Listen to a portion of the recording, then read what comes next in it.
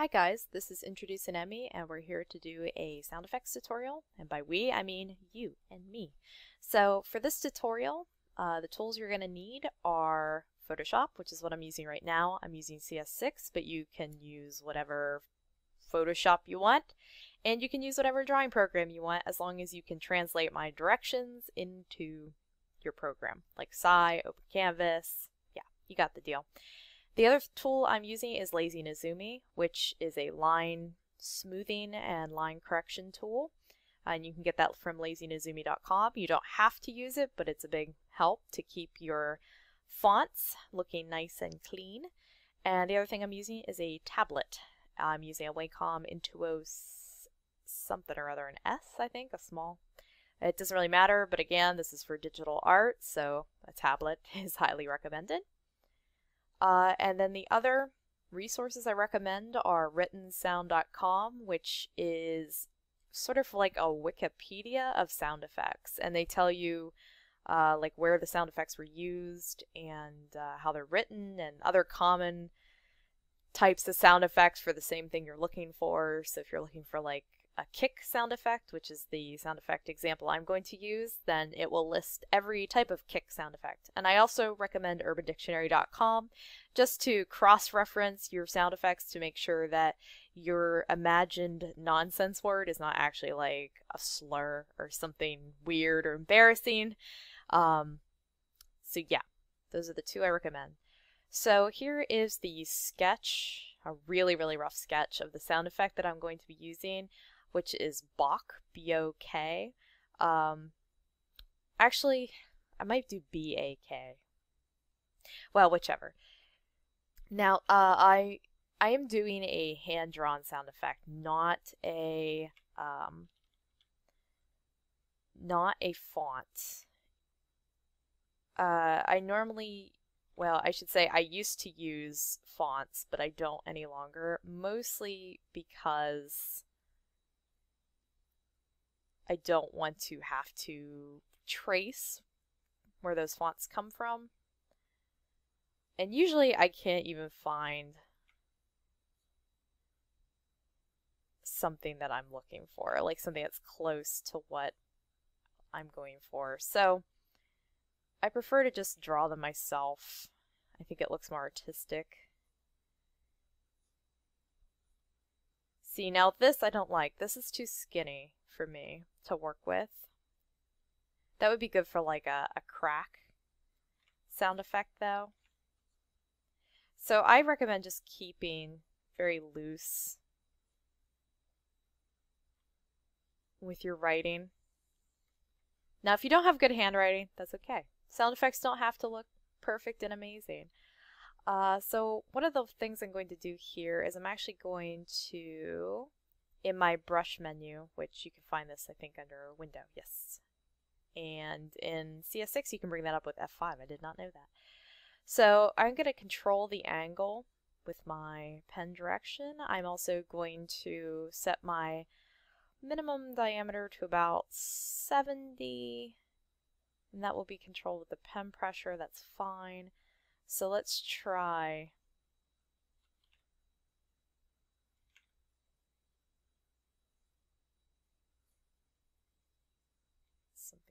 this.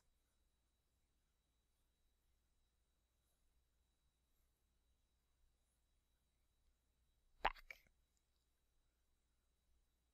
Maybe it should be more like black. Black was one I saw online, but I didn't know if I really wanted to use it.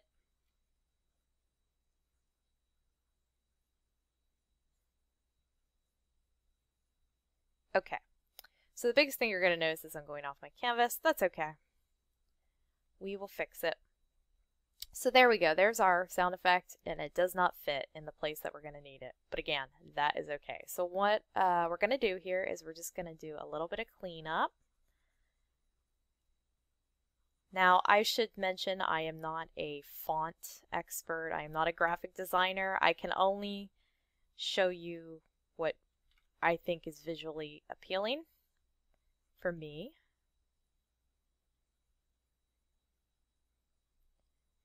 So here all I'm doing is I'm just kind of giving these some nice points, some tapers, but I'm using the same angle of taper at the tops and bottoms of the letter, meaning that I'm coming in, what is that, about a 45 degree angle, something like that. It's probably a little tighter actually, but I'm coming inwards to the letter. I'm striking towards the interior and I'm trying to keep these edges looking pretty smooth. It doesn't, like I said, it doesn't need to be like a printer. You know, it doesn't need to be like a real font, I guess. Now, the only uh, small issue I have is the B. The B is like a really round letter, and I don't want it to look fat or out of place. I want it to still have like a little bit of a vertical edge to it. Alrighty, so this looks pretty good. I'm going to go ahead and uh, paint bucket in these letters so that they are no longer uh, aliased, or yes, aliased, anti-aliased. Oh God. Here we go. I can never tell the difference between alias and anti-alias. But you want these lines to not be terribly soft. You want them to have sort of like a hard edge. And now I'm just selecting each individual letter and positioning them so that they're about an equal distance from each other. The B is just a touch close. So because I was using uh, a calligraphic brush, I hope that's the word, you'll see I have a few little rough edges here and there just from the way that the brush angles itself, but we're going to fix that. It's no big deal. Now, right now, the B is floating. The B is, er, the B, the sound effect is floating. So it's on its own layer and I can draw behind it. What I want to do is I want to put a layer of white just below it. So here's my layer of white. And I want to go back to the sound effect and hit Control E and collapse them down. Don't panic. So now I am drawing in uh, pink underneath and you can't see it because this white is actually touching this black, okay? So now we're going to absolutely destroy this. we're going to set our two colors back to black and white. Now forgive me, I always forget which one needs to be at the front, but it's not really a big deal when you work with black and white. Okay, so black needs to be at the front. That's fine. So we're going to go to our stamp tool. And we're going to set our smoothness. Just make this a little smaller here. Uh, you want to set your smoothness to 1 for now. And then we're going to adjust the light and the dark balance. And our goal here is to find an edge that we can live with. What we're trying to do is sort of smooth the edges out here. Now, I don't like to set the, the actual smoothness any higher than 1 because what you'll see is it starts to like dampen the edges, like the white um, comes into the sides of the letter and they get smaller there. So I set the smoothness at 1 and then what I do is I just kind of fidget around with it till I see what I want. And now this is a light dark balance of three, two. I think two is actually fine. Yeah, let's go with that. So now this is uh,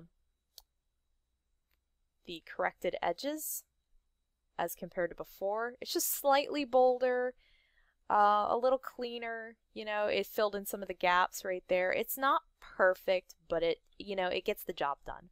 So now what we're going to do is we're going to come in nice and close now, this is a step I think a lot of people would just be like, nope, and avoid. But I have to have everything perfect and shiny and wonderful. So I like to come in and I'm using the pencil tool to just fill in some of these edges.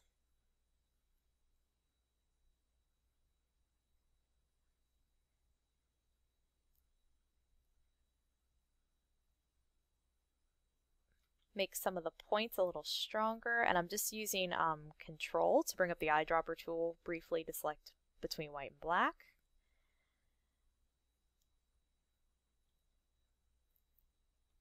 So you can see I have a few little edges that need fixing. I would like the top of the A to be pointed and you can see how helpful Lazy Nezumi is here, coming in and cleaning up the lines right behind me. No biggie.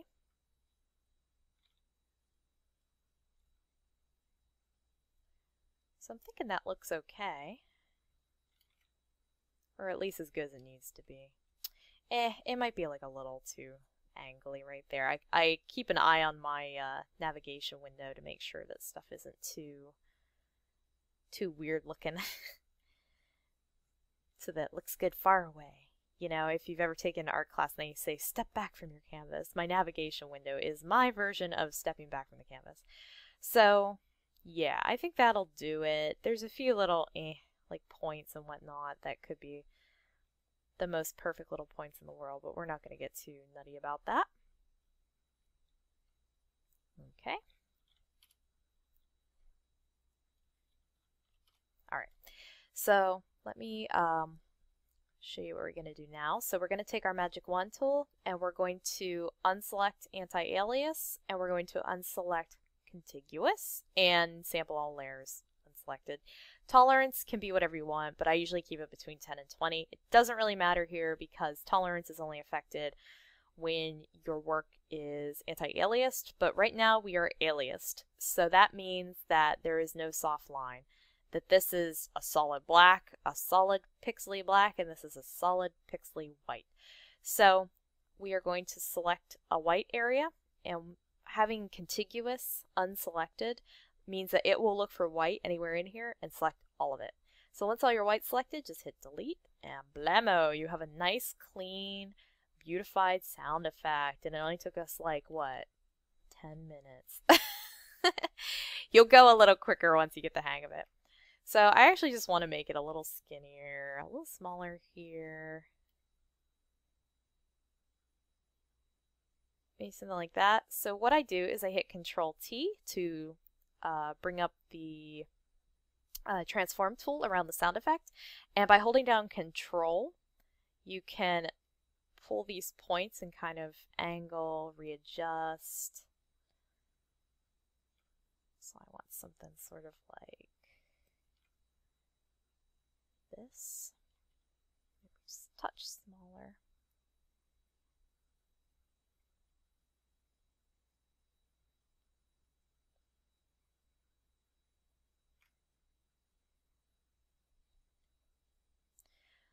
All right, I think that'll do it. So uh, this is this sketch is part of a larger uh, page that I'm working on, and this blue right here is a text balloon from a previous panel.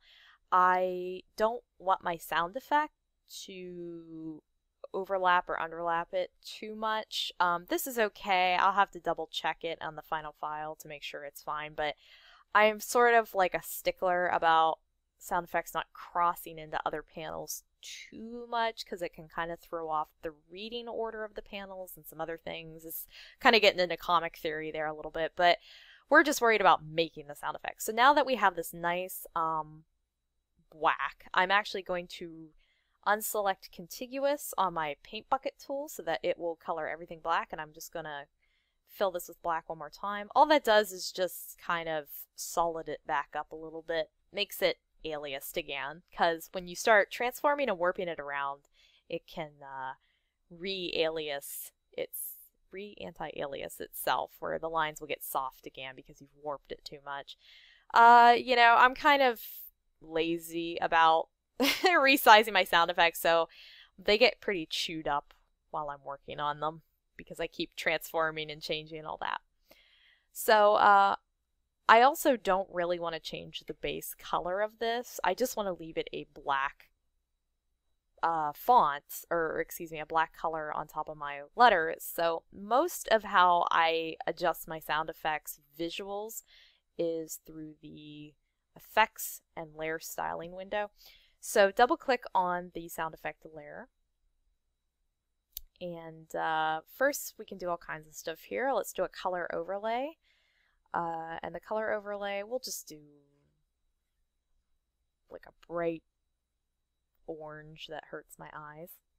And then let's go to stroke. And this is just sort of personal preference to put an outline around it. Uh, let's do like a red, like a dark red. That looks nice.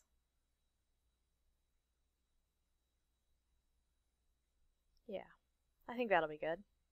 Yeah, dark red. And then uh, let's do a gradient. Uh, this may not appear because it's underneath the color overlay, so we'll just do a normal uh, a normal gradient, black to white. We'll leave it at that for now. And then go to your color overlay and hit overlay. I don't like the way that looks. I'm pretty uh, loosey-goosey with how I do these. I just sort of pick stuff that looks good. So now I've set my color layer to a color dodge.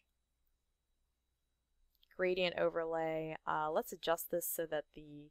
I like to have the colors radiating from the bottom of the letter to the top of the letter. So before it was like this, so the red was radiating from the K up to the B.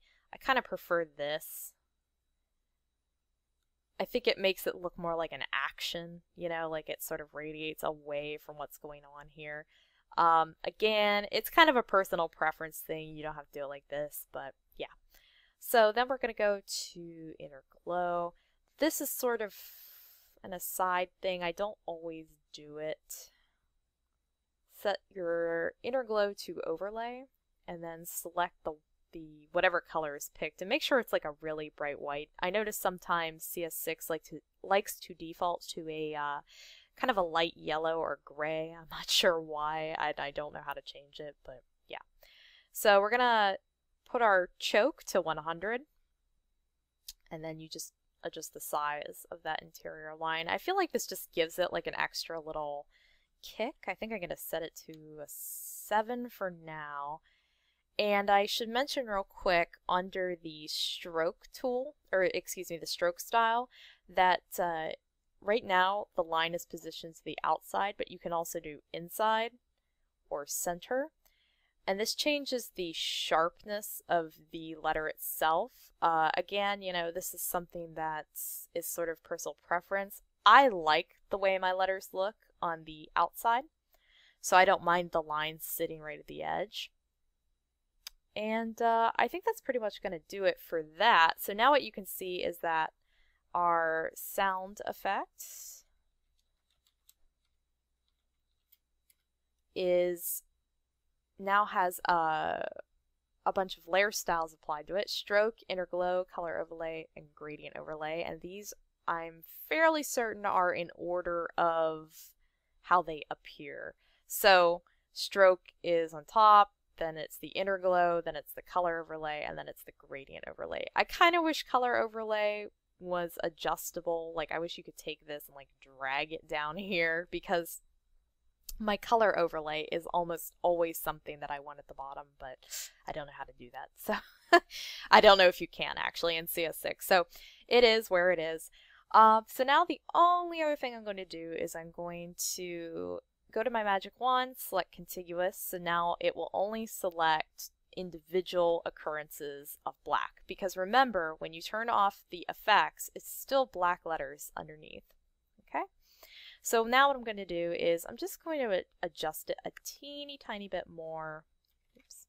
This K is a little close, and you can see that there's some uh, little artifacts left behind.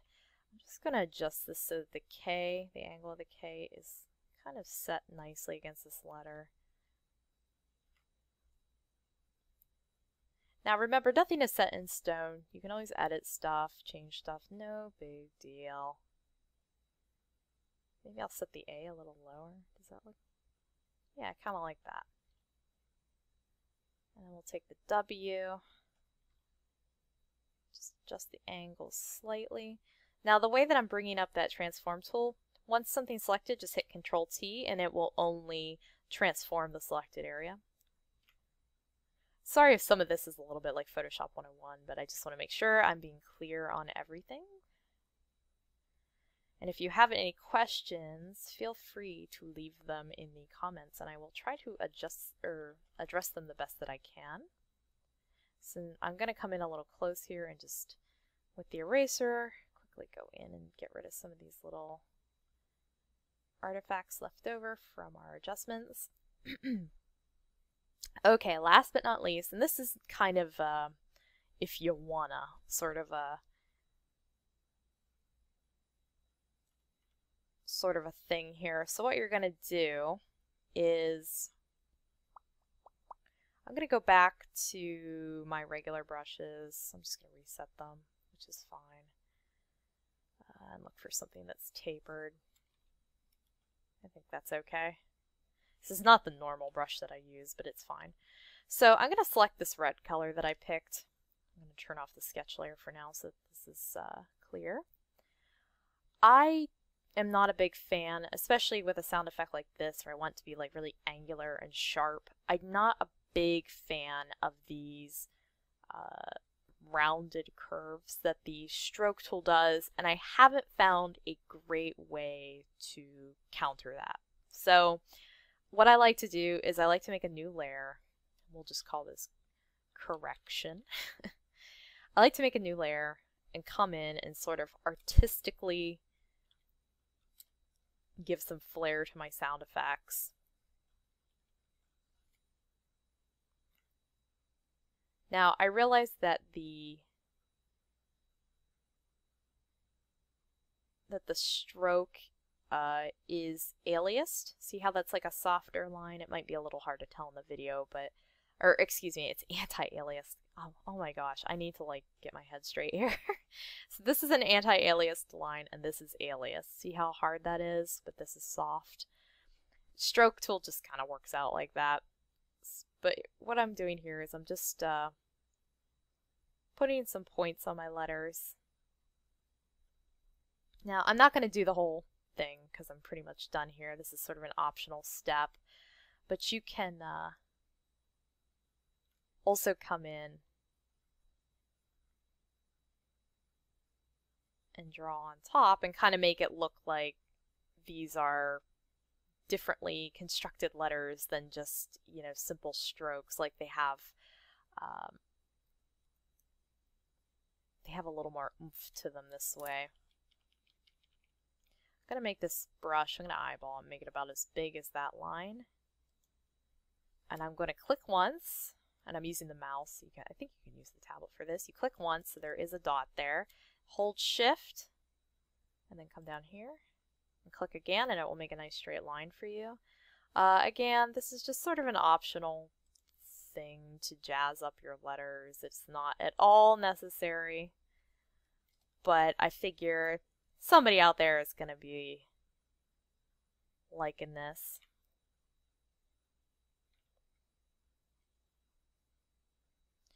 Now there is a way to do this with the letters layer itself. So I'm going to turn off the corrections we just made. If you wanted to, and I don't really recommend this unless you make a copy of this sound effect because I like to keep my sound I like to keep the original sound effect file like very nice and and not all mangled up. So but if you wanted to, you can come back to your uh, sound effects layer that has all these styles and effects applied to it. And you can just simply, uh, let me set my eraser to a pencil. You can come in here and erase these away. And what this does is it reflects the um, style choices that we made. So you can see like the places where we erase it tries to mold the inner and outer glows. This is an easier way to do this, and to be honest, I probably would do it like this, but um, if you're a little nervous about the integrity of the original sound effect, I would make a copy of it and just keep it in a folder. I like to make a folder while I'm working and call it keeps. And keeps are like art that I don't want messed with just in case I have to go back and reference it or something like that. So it's, sometimes it's like pieces of line art or sound effects or whatever. So I would like throw that in keeps. So it's just one little handy tool. Now, if you want letters to overlap, you're going to have to get a little more creative because this simply just won't. If, if you like, for example, select the B and you're like, oh, I want the B to overlap the W. See how it just kind of like molds in? Yeah, it's not going to work, especially with all these effects applied. So again, I would recommend making a copy of this and then simply uh, select this uh, letter or whichever letter you want to be on top. Uh, make sure the lasso tool is selected afterwards or the wand tool. Yeah, the wand tool is fine. So make sure your wand tool is selected and then right click on top of the selected area and say layer via cut. So what that does is it cuts the bee out but leaves the effects and puts it on a new layer. So now you can overlap it appropriately or you know you put the bee behind there or whatever. whatever. So that's how you do that. You can see it accidentally left the tip off because I erased. See, this is why you don't want to mess with the original too much. So that is pretty much going to do it. That's how I do my sound effects. Um, so once I'm, you know, happy with how it all looks and I've got it all painted up all nice and pretty like, I like to uh, so I'm just going to turn on this layer as an example. I like to select everything that made my sound effect and hit Control E. And there you go, there's your sound effect all complete. You can put it in your file. Just be aware that this is basically a piece of art. It's not a vector or something that is adjustable in the same way that like a vector, like if you were using Illustrator to do this, it wouldn't be the same. So just remember that it is like a piece of art. It's not something that you can change or type, you know, to fix letters or what have you. You can see I can just pull off pieces because it is a drawing at the end of the day. So, uh, you know, this is the artistic way to do sound effects and put them in your files. Uh, and it's essentially how I do all my sound effects. Let me find a nice couple of examples here. I do have a bad habit of getting a little crazy with my sound effects, and sometimes people say they look a little bit like graffiti. So maybe I need to just reel it back a little bit. So there's a nice thud sound effect using a lot of the same techniques I just went over. Here is uh, a pillow sound effect, which is bop. And here I used more curvy, uh, rounder, softer lines, along with some little marks that I guess are like feathers, you know. Uh, this same sort of technique could be used for like bubbles or whatever, you know, like pop kind of sound effects. I also put a little bit of a texture in there that's angled uh, lines in the same way that the pillow is directionally coming from, just to help with the movement. So yeah, I have uh, I use this technique a lot um, for my sound effects see if I can find any other good examples here. This is a zap that has been kind of like a reoccurring thing, but you can see here that it has some, uh, I don't know what you call these, like electrical marks, like little lines to help indicate sort of the zappiness of it. Uh, same thing here, just little S's which is like a sizzle sound effect that I kind of faded off on each end. So yeah, you can get pretty creative. I like to uh, incorporate sound effects into the devices that they come from. So for example, yeah, there's like actually a lot of good examples of that, but just pick one here. This is an example of a sound effect that is part of the actual thing that is happening. So there's like a laser beam and I made the Z into the laser and then put the A and the P after it. So it's sort of like, uh, it's within it, you know, it's, uh, you probably can't do that for everything, but you could do it for a lot of different things, I would think. Bubbles again. I don't know why I keep coming back to bubbles, but I think bubbles would work. So yeah, I kind of have some rules about my sound effects within my lore, so certain things can only be represented certain ways, like things related to telepathy and and uh, technology are always done in this sort of like teal and blue and white. So I would never use that color scheme for say their footsteps or the ripping of his jacket or the sound of him jumping with his coat flapping in the wind. You know, I would never use the teal, the white, or the blue for that kind of a sound effect. So yeah, you'll find uh, ways to establish your own sort of lore uh, with your sound effects. So, yeah, you'll get the hang of it. So yeah, that is going to do it for this tutorial. I hope it wasn't too long-winded, and I hope you get kind of the idea of it. And uh, yeah, I'm going to finish up the sound effect and put it in my comic, and I will see you guys later. Bye!